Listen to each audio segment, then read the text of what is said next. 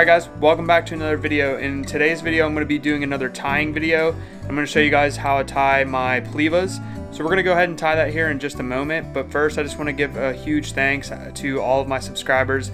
We finally hit the 1,000 subscriber mark, so that's a big milestone for me and the channel in general. And uh, so because we hit that 1,000 subscriber mark, we're going to be doing a giveaway. In the giveaway, I'm going to be giving away one of my Brownsylvania shirts as well as some sort of fly fishing gear. I still got to figure out what I'm going to give away. Um, but as soon as I get that all together, I will post a video here on YouTube and also announce that on Instagram, just giving you guys the details for the giveaway. But again, thanks to all my subscribers and everyone who has supported me up until this point, and uh, just pretty excited to see what happens with the channel from here and just continue to make videos for you guys. Uh, so without further ado, we're going to go ahead and get into tying this fly. I'm going to show you the materials first, and then we'll go ahead and get to tying it. To start things off, for thread, we're going to be using Veevus 8-Aught, and the color code for this thread is E14. The ribbing of this fly is made from Glow-Brite floss in fluorescent green. The tail is made from light Coq de Leon, but any color will do. For the wing case, any brand of black nail polish will do the trick. The hook that I use here in this video is a size 14 Orientsun 5241, but I like to tie this fly in size 16 as well. And last but not least, the bead is a 3.3 millimeter tungsten slotted bead in copper. And without further ado, let's go ahead and get into tying this fly. To start things off, we're going to put our hook in the vise here upside down. Then you can just get your bead and pop that on the hook point, and then just take it out and rotate it around and secure it in and get ready for tying. This just makes putting the bead on the hook a little bit easier. At this point, if you haven't done so already, you'll want to go ahead and get your thread ready on your bobbin.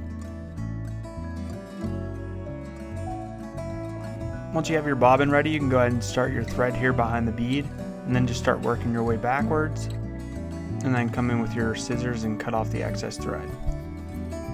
Once you have the excess cut off, you can go ahead and work the rest of your thread back to the bend in the hook and we'll get ready to tie in the tail. Go ahead and grab your Coq de Leon feather and you can take off about 5 to 6 fibers, but this part's really preference. You can use however many fibers you prefer. Next, we're going to go ahead and secure the Coq de Leon to the hook shank with a pinch wrap, and then just make a few light wraps, then you can come in and adjust the length of the tail fibers. Once the tail is of your preferred length, you can make tight touching wraps all the way up to behind the bead. And then you can come in with the scissors and cut off the excess fibers. Once the tail is tied in, you're going to grab your Glow-Brite floss. For this fly, I'm just going to use a short strand, but if you're tying multiple flies, you can cut off a longer strand. And then you're just going to secure that here behind the bead and then just pull the excess through and then start working your thread back to the bend in the hook. Once you make it back to the bend in the hook, use your thread to create a tapered body on the fly. After finishing the tapered body, go ahead and take your Glow-Brite floss and give it a few twists and then start wrapping it up the fly, making open spiral wraps.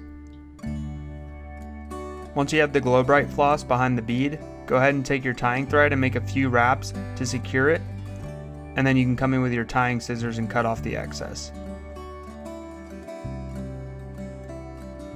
After cutting off the excess, I like to use my tying thread to cover up that tag end with just a few more wraps. Now you can grab your whip finishing tool and do a 3 or 4 turn whip finish and then cut off your thread, and this will complete the tying portion of this fly.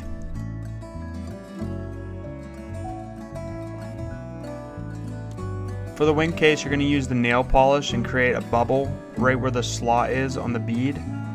You'll want to make the bubble a little bit bigger than what you think because as it dries, it actually gets smaller. And if you're tying multiple of this pattern, at this point, once you put the bubble of nail polish on, you can move on to the next fly so that by the time you're done with all of the flies, this part is dry. After letting the nail polish dry, it's time to UV coat the fly. This adds durability and magnifies the ribbing and the wing case, giving the fly that extra pop. Once you've evenly coated the fly with the UV resin, you can go ahead and get your UV light and cure it, and then the fly is complete. While this fly isn't one of my top producers, it's definitely one that has saved the day multiple times. It's one of those weird flies where you just use on a day where nothing else is working and it gets the job done. That's going to be it for this one. Hope you guys enjoyed the video. Don't forget to hit the subscribe button if you haven't already to see more videos like this in the future. Go ahead and smash the like button. It lets me know that you guys like these fly tying videos and want to see more of them. And leave a comment below to let me know what you guys think of this pattern or if you use it yourself. And until next time, peace.